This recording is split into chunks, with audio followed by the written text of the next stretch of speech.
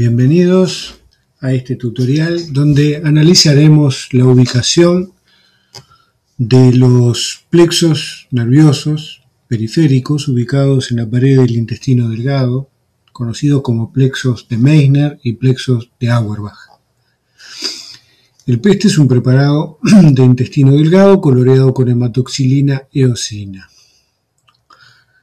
Esta es la luz del intestino el corte es un corte, una sección transversal. Aquí vemos las vellosidades intestinales con una porción dilatada en su extremo y un tallo más delgado, con forma de llama característica.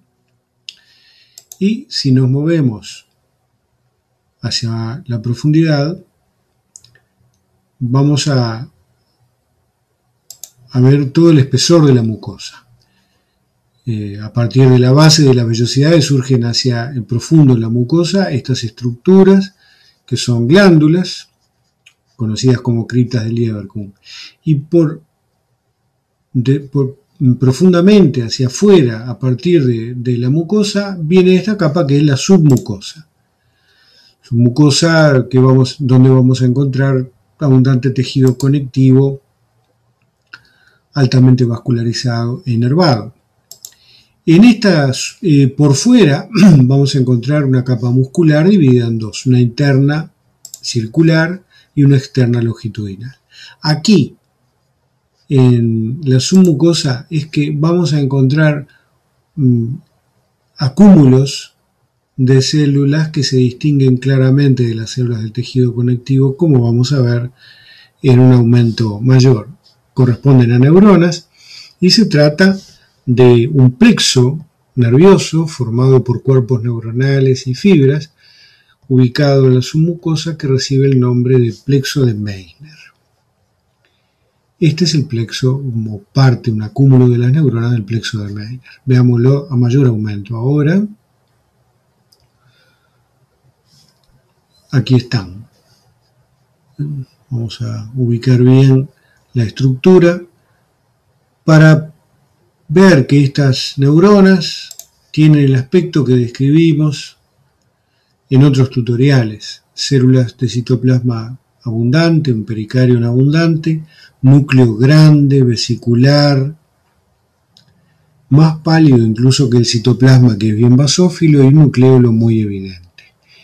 Estas células son entonces neuronas.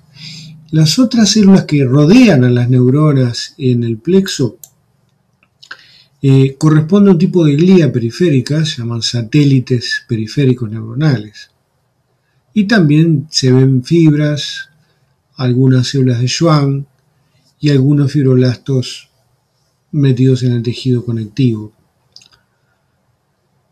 El otro plexo que vamos a encontrar se encuentra entre ambas capas musculares, entre la interna que es esta, que es una capa circular, concéntrica a la luz, las fibras, y esta otra capa que está aquí, longitudinal. Las fibras, estas fibras fueron cortadas transversalmente, se dirigen hacia adelante y atrás del plano de la sección.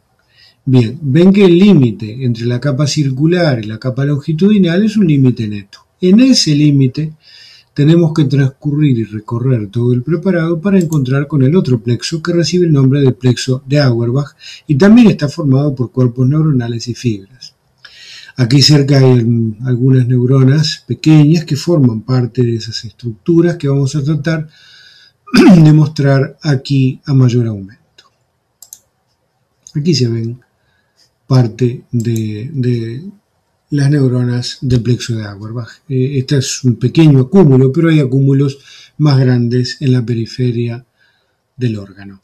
De manera que eh, neuronas periféricas en intestino delgado las van a ver en la submucosa y entre ambas capas musculares en las localizaciones que hemos señalado. Aquí entonces el plexo de Auerbach y aquí en la submucosa, vamos a darle foco, aquí en la submucosa el plexo de Meissner.